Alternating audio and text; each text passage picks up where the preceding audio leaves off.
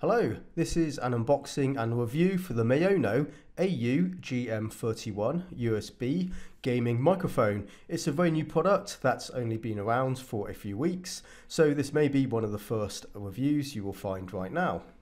For this entire piece, I am recording this voiceover using this microphone so you can get a good impression of the audio quality. There's no post-processing filters applied, it's a pure recording using this microphone. Um, I have set the gain dial on the microphone to about 85% and speaking um, 20 to 25 centimeters away from the microphone. It's a typical USB recording device, so it's plug and play for Windows and Macintosh computer systems. But we do have an instruction manual if you do need some help. And so that covers the technical features and how to set the audio device in your computer settings. As you can see, this is not your typical type of microphone, so let's take it out of the packaging and take a closer look.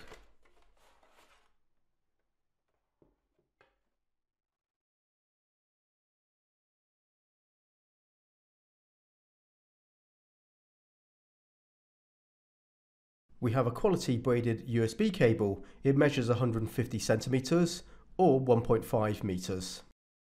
The microphone has a tabletop stand and the microphone itself sits at the end of this flexible 25 centimeter gooseneck.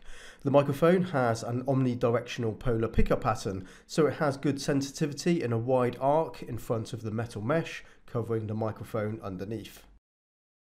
I am speaking directly into the microphone and there is no pop filter, but I didn't find that to be a major problem with the recording. Uh, maybe you can hear a little bit of plosives, but um, nothing of note uh, considering.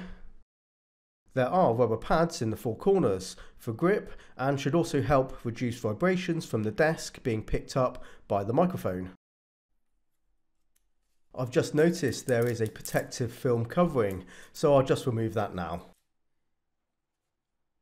The dial on top is the microphone volume controller. It is also the mute button. It changes to red when the microphone is muted and below the logo are the headphone volume buttons. On the side we have a switch for the LED side lights. The lights automatically change colour. At the rear of the base there is a 3.5mm audio jack for headphones and on the other side is a pass-through for plugging in USB headphones.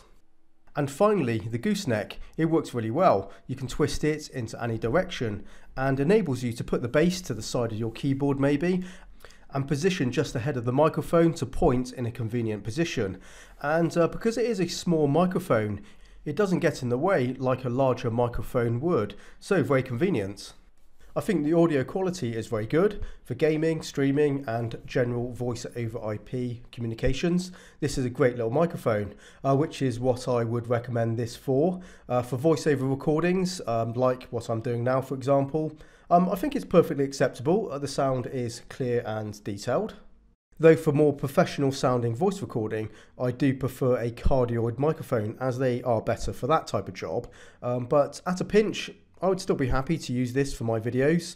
Um, so the Maono AU GM31 is quite a decent all-rounder microphone I'd say and uh, very fairly priced for its performance which is very good.